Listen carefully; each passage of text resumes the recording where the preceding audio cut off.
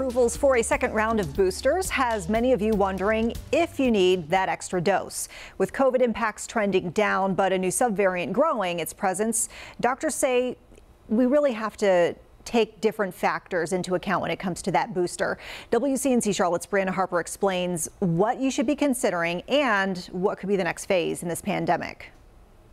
The fight against COVID 19 lasting more than two years in counting, but the progress does bring some hope. Novant Health says they're currently caring for about 50 COVID patients in the hospital across the system. Months ago, that number was several hundred. And statewide, we're seeing a similar trend with a weekly decrease of more than 270 patients hospitalized. But doctors say what hasn't changed is those in the hospital are almost always unvaccinated. Yet for those who have gotten the shot and are boosted, now some are considering another dose. While the FDA has approved the fourth dose for those ages 50 and older, my professional opinion is that the fourth dose is really most beneficial for much older patients over the age of 65 and those with significant chronic medical conditions. Another debate is whether an extra vaccine dose might cause immune system exhaustion.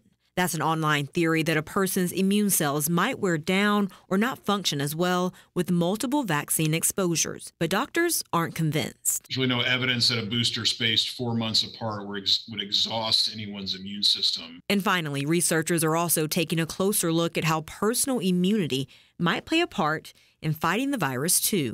If you've had COVID, I would consider that as having had one dose of vaccine. Right now, BA2 is the most dominant form of COVID across North Carolina, accounting for about 55% of cases, as seen in the orange shading of this graph. Doctors say although the BA2 variant is 30 to 50% more contagious than Omicron, the cases don't seem to be any more severe. We're hopeful that this will run its course without major disruptions, but I think we have to be prepared uh, to be able to pull levers and change things if we need to. And weeks ago, we reported how federal funding issues could potentially impact access and availability to COVID tests and vaccines.